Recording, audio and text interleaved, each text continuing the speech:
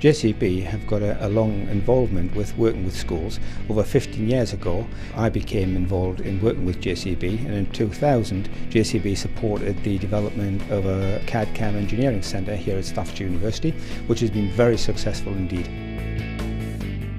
We're standing in the library part of the Learning Resource Centre. Um, this building was part funded by JCB and it houses our new learning resource which is about 100 or so open access computers. You see some of them behind me now. Downstairs in the Engineering Design Centre we have probably about 70 odd computers.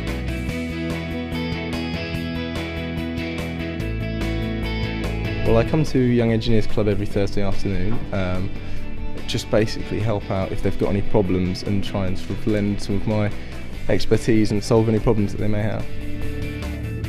Well, JCB is a, is a key element here at Ryecroft. Uh, they supply us with the technologies, with the funding, with undergraduates who are, are, to me, second to none. But we're helping them because these children go off to the local high school and we try and equip the children with all the technologies that's, that are required for, for use in the high school.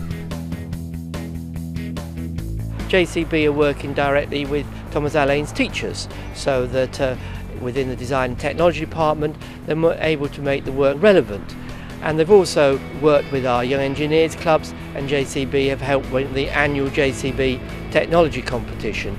All that has inspired and motivated both students and teachers here it's brought to us an expertise and enthusiasm uh, both for engineering but also for a whole range of management issues. We look at how JCB manage staff training for example and we've learned a lot from that.